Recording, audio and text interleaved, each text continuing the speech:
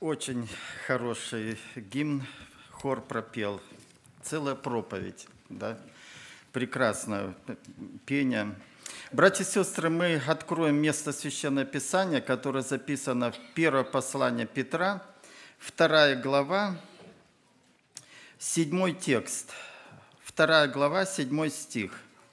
Итак, он для вас, верующих, драгоценность, а для неверующих камень, который отвергли строители, но который сделался главой угла, камень притыкания и камень соблазна, о который они притыкаются, не покоряясь слову, на что они и оставлены. На что они и оставлены. Как приговор звучит, да?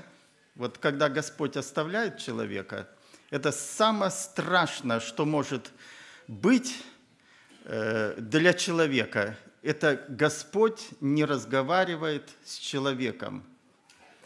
На что они оставлены? А почему оставлены? Ну, во-первых, вот не воспользовались этим камнем,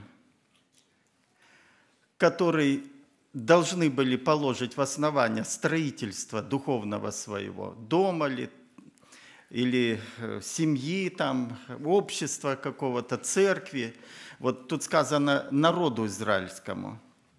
Ведь вообще вся Библия, братья и сестры, вот буквально от корочки до корочки, знаете, кому написано? Верующим. Ни одного слова не написано неверующим. Даже нам кажется, что 13 Псалом и 50, по-моему, второй, да, или первый, там сказано, э, сказал безумец в сердце своем, нету Бога. Он тоже, это к верующим написано, потому что то, ему стыдно было говорить при всех, все же верующие, все говорят, есть Бог, а вот ему стыдно, конечно, признаться, что он среди верующих, быть неверующим. Это лицемер. И вот он говорит, сказал безумец сердце своем, нету Бога он только в сердце, а, а на устах он говорил, есть Бог, верующий человек. Ну, так вот вся Библия, и особенно Новый Завет, написана верующим. Церкви такой-то, церкви такой-то, церкви такой-то. И вот то, что пишет апостол Петр, это тоже верующим. Но эти верующие как неверующие, потому что отвергли, не поверили в этот не возложили упование на это основание, оставили это основание, вот, и стали свое какое-то основание делать. И, э, естественно, отвергли Слово Господня, и не просто отвергли, ведь сначала идет что? Неверие, непослушание, а потом уже противление – вот то, что это было и в раю. Сначала не поверила Ева, потом э, засомневалась, вот стала противиться, а потом ну, просто уже противница стала. И, и человечество становится противником. Не покоряй Слову. И вот когда человек не покоряется Слову, Господь оставляет. Почему? А, а как иначе разговаривать? Как иначе, чтобы дошло вот это Слово Божие, чтобы, или воля Божия, чтобы дошла до сознания человека, Господь не может по-другому. Поэтому и оставляет, и для этого человека очень печально. Братья и сестры, вот сегодня э, у меня на сердце поговорить о том, как нельзя, как нельзя. Вот э, здесь как бы вот в прочитанном тексте – допустим, э, шестой, пятый, шестой стих говорит о том, что как надо, а восьмой, седьмой стих говорит, как нельзя. И вот как нельзя, мы об этом на примере Священного Писания поговорим. На примере Священного Писания поговорим. Наверное, каждый из нас, особенно у кого были дети – покупали книжечки такие и сами, наверное, смотрели. И в этих книжечках, брошюрках нарисованные картинки, и, э, э, значит, задание такое было дано. Что неправильно нарисовано? Да? И вот человек смотрит на эти рисунки и смотрит, что там неправильно нарисовано. И то неправильно нарисовано, и то. Однажды ко мне, э, меня позвал, у нас брат один обратился, человек обратился к Господу, он э, из очень преступного мира был, но у него было хобби рисовать. И причем так он рисовал, что даже в Третьяковскую галерею у него покупали. Там несколько его рисунков висит в Третьяковке. И вот так красиво рисовал. Он меня пригласил. Пригласил, я еще был э, такого, как бы сказать, молодого, молодым человеком, еще до армии был. И вот он говорит, вот я нарисовал картину, вот скажи, что тут не так? И э, провозглашает. Картина называется «Запустение». Братья и сестры, я впервые влюбился в, вот, в, в, в искусство, в картину. Так было нарисовано – вот. И он потом перерисовал картину, потому что не соответствовало его замыслу. Там не получилось запустение, там наоборот восторг. Вот в этом критика не прошла. Он говорит, вот про, про, ну, э, найди, что, что тут не так. Я и с той стороны подойду, там большое очень полотно, и не смог определить. В жизни, братья и сестры, мы тоже часто не можем определить, как надо строить вот свою семью, там, церковь, там, и как строить? Вот, казалось бы, все вроде правильно, вроде я хочу благословения, а кто из нас не хочет этих благословений? Каждый день мы молимся, Господи, благослови нас. Мы, мы молимся, мы хотим этих благословений. Но по факту бывает, что не всегда мы имеем эти благословения. Более того, Зачастую, зачастую, как в той как бы сказке Пушкина, да, у разбитого корыта оказываемся, да? Вот. Так получается. И, и в чем же дело? Где я сделал не так? Где поступ, поступил не так? Э, послание апостола Павла к Ефесянам, 5 главе, 17 стих, 18, там сказано, «Итак, не будьте нерассудительны, но рассудительно. Познавайте, что есть воля Божья. По жизни мы, если кто нам скажет, ну, безумец, обидимся, правильно, да? И Слово Божье запрещает нам так говорить. Но если... Э, э, э, а проходит жизнь, вы знаете, и нам кажется, «А, действительно был безумец. Почему? Потому что вот дано нам время для того, чтобы нам узнать волю Божью. Вот в каком-то особенно в некоторых моментах особенно мы нуждаемся, чтобы Господь нам открыл волю свою. Открыл волю свою. И если мы не поступаем так, то э, мы ну, безумцы, оказываемся потом, хотя когда мы что-то вот начинали предпринимать, нам казалось, как я хорошо сделал, как все правильно, как, какие у меня мысли. То есть вот, вот такие моменты бывают. Э, книга Судей, 17-18 глава. Мы будем рассуждать именно вот на, на две главы.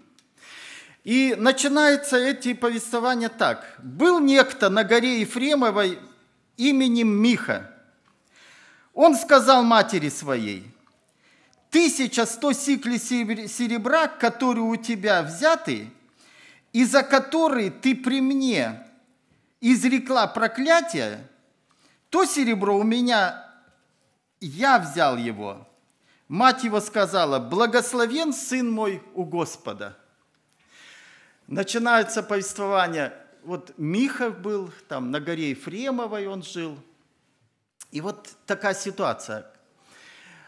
Э, он, не знаю, что получилось, почему он признался. Вот. Но он матери говорит, вот те деньги, 1100 сиклей серебра, мало это или много, я не знаю. Но э, которые пропали у тебя, я их взял и который, за который ты изрекла проклятие при мне. Братья и сестры, сколько ситуаций у нас в жизни, непонятных таких. И прежде чем нам что-то в пылу гнева своего, необдуманно что-то говорить, нам надо хорошо подумать прежде. Очень хорошо подумать. Вот эта женщина, мать, она никогда даже, может быть, мысли такой не, э, не допустила в сердце свое, что эти, день, эти деньги взяты сыном ее. Может быть, даже единственным. И она изрекает проклятие. Э, дважды мне в жизни пришлось быть в такой семье, где отец, ну если не проклятие, то какие-то плохие слова сказал в адрес сына своего, и потом большие, большие переживания были. Был в одной, один только момент скажу. Э, вот каждый, вот мы, бывает смотрим на детей, некоторые дети подвергаются особым духовным искушениям, как бы с самого детства. И вот так раздражают, так раздражают. И вместо того, чтобы Вместо того, чтобы молиться, вместо того, чтобы выпросить эту душу у Господа, это я в первую очередь и себе, братья сестры, говорю, потому что опыт только, э, ну, э, опыт он не сразу приходит, со временем вот, приходит. И э, вместо того, чтобы вот вымолить эту душу перед Господом, что происходит? И вот и в этой семье, уже уходя на собрание, этот ребенок очень себя нехорошо вел. Он, он, он его до этого и наказывался, а потом он сказал грубое слово. Ну, я, может быть, повторю даже это слово. Ты, говорит, совсем осатанел уже. И легион бесов вошло в этого человека. Вот из той компании, которые когда-то утопили вот э, э, стадо свиней – вот, это потом уже, когда молились, выяснилось. Братья и сестры, как важно не в пылу гнева произносить, э, произносить слова. Как важно, может быть, когда вот такие ситуации, просто молиться об этом. Молиться, чтобы Господь сохранил. Чтобы Господь сохранил. Это очень важно. Вот эта женщина, она не так поступала. Я обозначил эту э, свою проповедь и уже сказал, что как нельзя. Вот, в этой, вот то, что происходит вот, вот в этой истории, тут все не так, как нужно. Вот буквально каждый текст говорит о том, вот так нельзя. Вот так нельзя. И Миха, третий стих, и, он возврат... и возвратил он матери своей 1100 сиклей серебра. Возьми. Мать говорит, да я это посвятила Господу. Братья и сестры, ну если ты посвятила Господу, ну пропали. Ну значит так нужно, поблагодари Бога. Ну так ведь? Господь взял, Господь дал, Господь взял. Вот есть, например, Иов так говорит. Господь дал, Господь и взял. Да будет имя Господня прославлено. А вот здесь все не так. Она ну, посвятила Господа, сама проклинает за то, что пропало это серебро. серебро. Ну, казалось, Господь-то принял. Ну, тогда поблагодари Господа. Нет, тут все не так. И что происходит? И она тогда из этого серебра, следующий текст,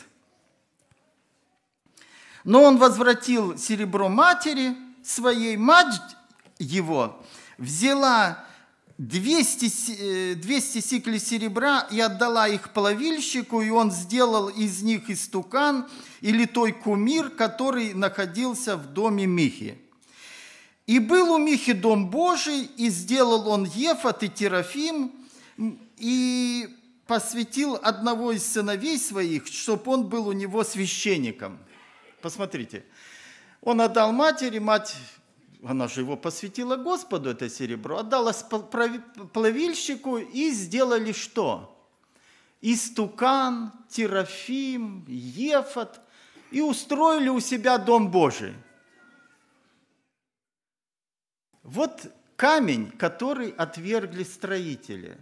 А Слово Божие говорит, чтобы в одном только месте был Дом Божий. Помните, да? Там не два должно быть. В одном месте жертвенник, туда должны были приходить люди поклоняться, народ Божий. Вот все не так. А потом и вообще из всех перечисленных вещей только Ефот соответствует ну, э, церковным так, канонам, а все остальное, эти терафимы, вот эти стуканы, они вообще не... Э, э, а, идольское служение идолам. Все не так. Но и даже знаете что?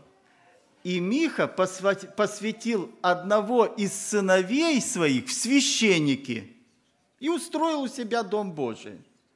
Священники. А кто должен быть священником? Только из колена Левина. А Миха был из какого колена? Ефрема. Посмотрите, и тут не так. Кто незаконно подвязается, не увенчается, апостол Павел говорит – Закон это на основании Слова Божия. Вот так говорит Господь. И не нам задавать вопросы, Господи, а почему? Уже когда-то Корей, Дафан и Аверон задали вопрос Моисею, Арону, Господу, что вы только один свят, вы только святые, весь народ свят. Что с ними произошло? Разверзлась э, земля и живыми поглотила, да? Вот, а тут такой дерз, дерзость такая. Господь уже ну, в слове своем обозначил, границы обозначил, как должно быть, но вот здесь все не так, все не так, и это не так. Но, когда мы читаем дальше, почему, вопрос, почему Миха так поступает?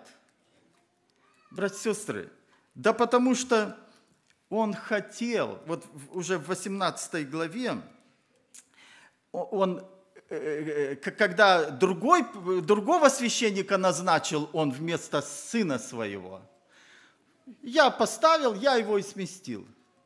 Понимаете? Вот. А когда он другого, о котором мы потом ниже поговорим, поставил, он говорит, вот точно теперь будет Господь благоволить мне, потому что у меня левит, священник. Точно. То есть все это Миха делал, братья и сестры, с искренним сердцем, желая, чтобы Господь благоволил, чтобы Господь благословил. От чистого сердца он старался, э, э, э, искал Божьих благословений. Но вот только в том беда, что благословения Божии, они обозначены Словом Господним регулируется. В послушании Господу, на основании Его Слова, камень, который Господь дал, чтобы он был главой угла, а все остальное фантазия человеческая. И все, что человеческое, не устоит.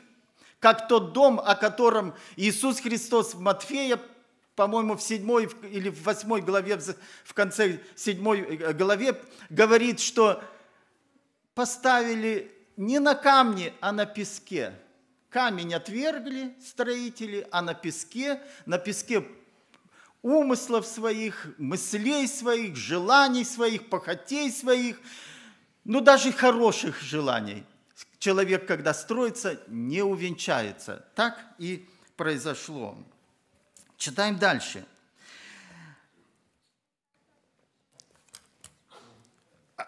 В те дни не было царя у Израиля, 6 стиха. Каждый делал то, что ему казалось справедливым. Один юноша из Ефлеема Иудейского, из колена Иудина, левит, тогда жил там. Обратите внимание, братья и сестры, один юноша, без имени, без фамилии, э, из Вифлеема Иудейского, из колена какого? Иудина. Опять не, не из колена, э, э, а именно Левицкого, а Левина, а из колена Иудина. И вот что он сделал. Жил, э, э, тогда жил там. Этот человек пошел из города Вифлеема иудейского, чтобы пожить, где случится. И, идя по дорогу, пришел на гору Ефремову, к дому Михи. И сказал ему Миха, откуда ты идешь? Он сказал ему, я левит из Вифлеема Иудейского, и иду пожить, где случится. Э, конечно, тут есть вопрос. Может быть, у него удел, как действительно он из колена был левита, ну хотя тут сказано с колена Иуди, Иудина. Э, и вот странствующий такой. Но если Миха мог сына своего посвятить священнике, почему бы и мне не сделаться священником, да? Ну, юноша. И вот он ходил, где кто больше даст э, э, зарплату. Искал. И пришел, набрел, набрел на Миху. Обратился, родственные души. Вы думаете, случайно совпадение там встретились? Нет, случайности нету. Это родственные души, они друг друга нашли. Они друг друга нашли. И вот э, Миха спрашивает, кто ты? Да я вот такой-то, вот иду, где случится, где пожить, вот, вот и так далее. И сказал ему Миха, останься у меня и будь у меня отцом и священником. Я буду давать тебе по десяти сиклей серебра на год, потребно одеяние и пропитание. Левит пошел к нему и э, согласился Левит остаться у этого человека, и был юноша у него, как один из сыновей его.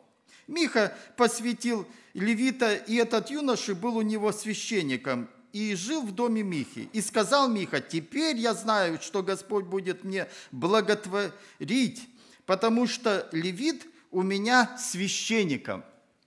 Вот так как бы произошло э, утверждение. И что про, э, происходит дальше? Э, следующая глава называется, э, начинается. Был, э, значит, у колена Данова не было, э, не всем хватило земли. И они пошли искать зем, землю, чтобы завладеть этой землей. И шли, и пришли к дому Михи. Остановились у дома Михи, стали там разговаривать, потом слушают, кто-то поет. Узнали, что это левит. Оказывается, служба там была, как, видимо, у православных, все на распев. Очень красиво пел. И вот он услышал голос левита и говорит, кто? Да вот левит. Поговорили с левитом, и пошли на, э, там, э, в свое место. И когда уже со всеми остальными из колена Данова пошли 600, по-моему, там человек завоевывать то место, которое они выбрали, то опять зашли в дом Михи. Видимо, по пути было. Э, все дороги, видимо, так сходились, шли мимо вот дома Михи. Пришли в дом Михи, и мысль возникла. Какая мысль возникла? А почему бы нам не взять этого с собой, священника? И взяли, и стуканы взяли, Миху взяли, вот, то есть этого какого, левита этого взяли, вот, и пошли э, дальше. Миха выскочил, что ж это вы делаете? И э,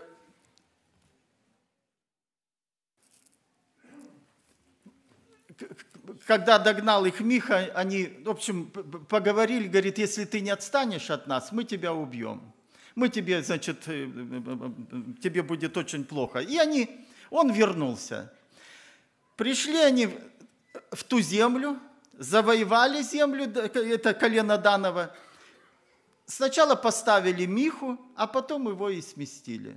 Сместили, другого назначили священника. Вот так закончилось Э, строительства э, вот своей жизни, своего служения вот этого левита. Почему?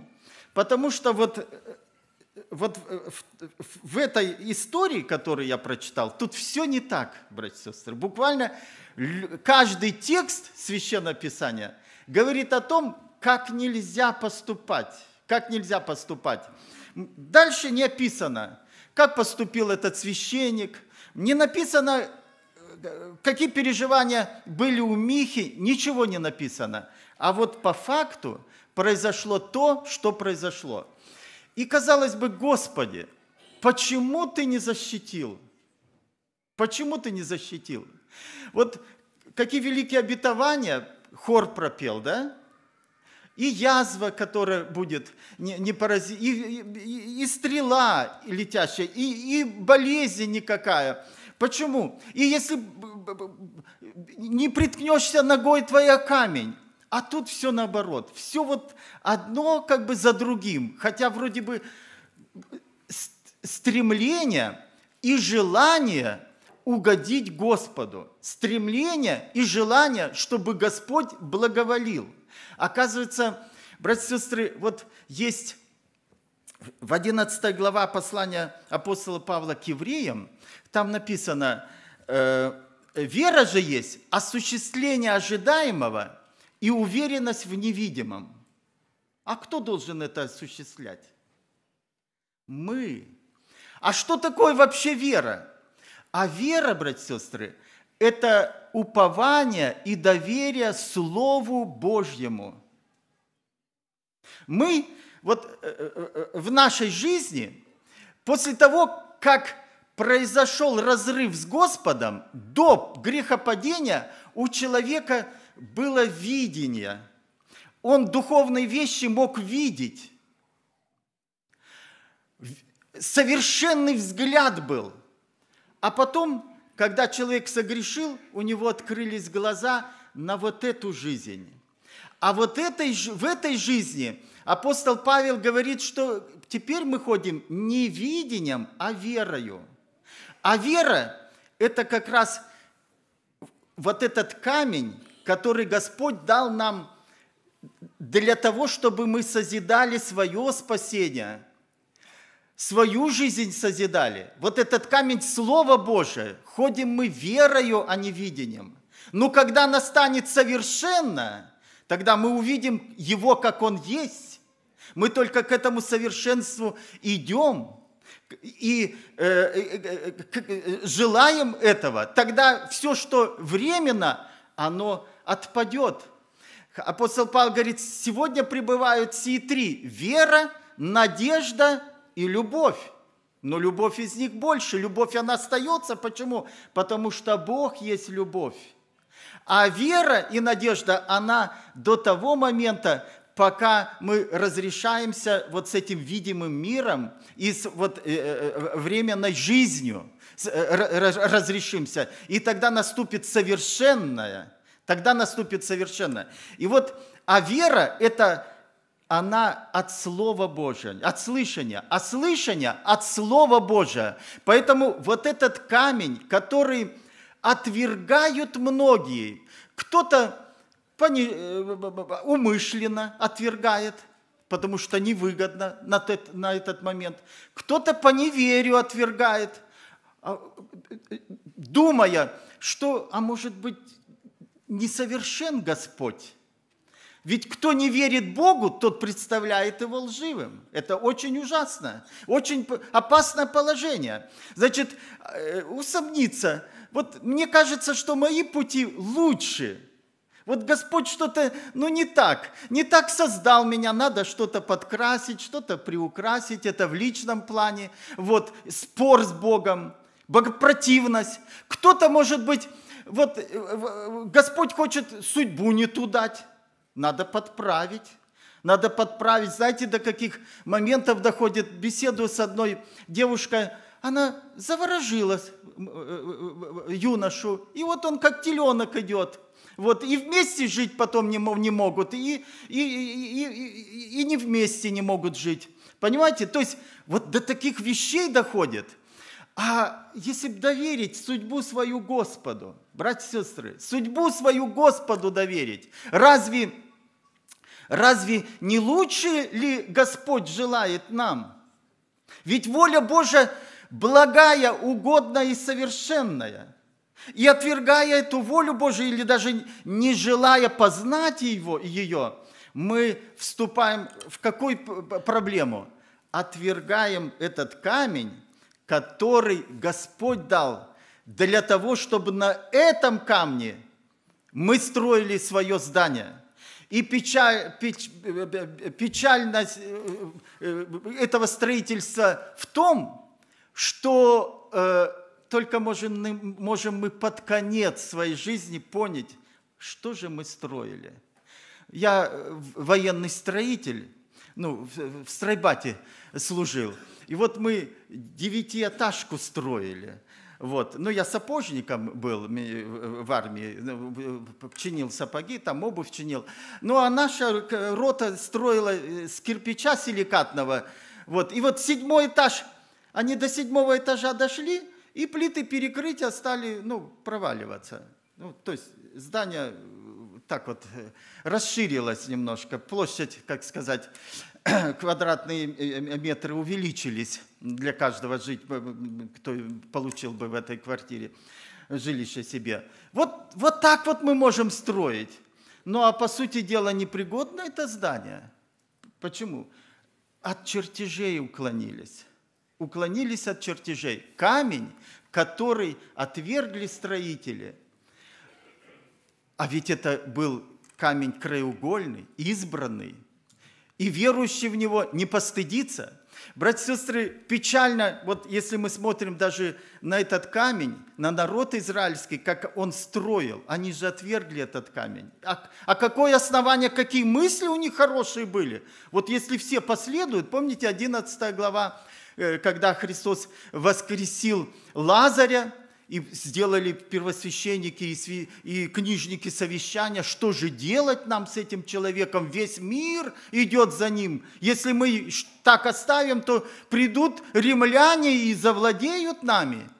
Так они рассуждали. Вроде как бы пекутся о всем народе, пекутся об историческом будущем своего народа. А по сути дела так и произошло.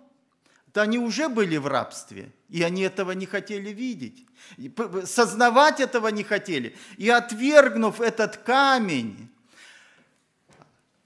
они забыли слова псалмопевца, что если Бог не сохранит город, то напрасно бодрствует страж. Если Господь не созиждет дома, то напрасно трудятся строящие его. Вот Простые слова, но какие они веские, какие они аргументированные. Они аргументированы на величие, силу и славу Бога, который, как читаем, вот, например, сын Саула своему слуге говорит, Иоаннафан, говорит, да Богу разницы через одного сделать победу и через, или через многих. Нету для Господа никакой разницы. И вдвоем пошли и поразили войско, да? Посмотрите, какую победу даровал Господь. Вот да, мы имеем дело с великим Богом. Если Господь не созиждет, если Господь не сохранит, напрасно вся суета там будет происходить. Вот камень, который дал Господь в основание угла, этот камень, на этом камне мы должны строить жизнь свою – общество свое, и тогда этот э, устоит, и тогда будет благословение. Другого нету, другого нету. Пусть Господь благословит, братья и сестры, и э, направит наши сердца и желания к тому, чтобы мы были разумными и искали, что есть воля Божья, а она благая, угодная и совершенная. И прославится Господь в жизни нашей. И вот мы знаем многих таких, кто уходит с этой жизни с такой радостью. Как апостол Павел говорит, и теперь готовится мне венец правды, да? Венец жизни. И не только мне, но всем, кто возлюбил явление Его, кто э, возлюбил пришествие Его, кто возлюбил Господа. А что значит возлюбить Господа? Это значит и слушать Его, э, э, повиноваться Слову Ему, Его. Не искать как что-то, чего-то сверхъестественного. А вот, мы ходим верою, а не видением. Мы ходим, вот, вот, вот основа. Прочитали, это заповедь Господа. Это вот так, это как раз вот этот фундамент, который, который дал Господь для созидания личного нашего спасения, для созидания нашей семьи, для созидания нашей церкви, для созидания вот э, с теми, с кем мы имеем общение. И все это тогда во славу Господа. Вот еще один момент, и мы помолимся. Знаете, вот когда Валаам, э, Валаак позвал Валаама для того, чтобы он проклял народ Божий, вот числа, по-моему, 40 глава читаем, и вот там интересная мысль – когда Валаам посмотрел с горы на общество народа израильского, и знаете, он воскликнул, как прекрасны жилища твои, Израиль, как прекрасные. То есть там все так было поставлено, вот э, колено к колену, за коленами, а, а в центре ковчег завета – Э, скиня собрания, святой святых. И ночью, это же было рано утром, еще темно было, столб огненный освещал вот этот стан. Под, в, в каждом колене был свое знамя, свой, свой шатер покрашен в, в определенный цвет. И это он посмотрел, как прекрасно твое жилище, как прекрасно то, что созидает Господь, даже физически, посмотреть, Люба, да? Даже вот, вот побыть в, таком, в такой семье, в такой церкви, где Дух Господен, да, там можно почувствовать эту благодать, как некогда ученики пришли э, в один город, в Антиохию, и они что? И они увидели благодать Божью, увидели. Оказывается, ее можно увидеть, ее можно почувствовать. Потому что Господь там, а нельзя не, заметить Господа. И отдыхаешь сердцем и душою, вот э, э, там, где присутствие э, Божие. А почему? Да потому что кто-то, вот даже вот в этой же 11 главе Деяния апостолов, кто-то ушел в Иерусалим, когда были гонения, и замкнулся, и не стал исполнять волю Божью. Вот почитайте там. А кто-то стал исполнять волю Божью. И вот те кто-то, были как раз в Антиохии. И там действительно благодать Божия была. Они положили в основании вот этот камень. Вот этот камень. А кто-то даже из первоапостольской церкви отверг этот камень. И, и о них ничего не сказано. А вот те, которые не отвергли этот камень, он сделался главой угла. И видно даже было ту благодать, которая была в Антиохийской церкви. Братья и сестры, тогда, когда Господь присутствует в нашем сердце, в нашей семье, вот это, это будет прекрасно, это хорошо, и это, и это увенчается, тот человек увенчается. И э, э, великая слава и честь будет нашему Господу, и мы сейчас помолимся, прославим Господа. Аминь.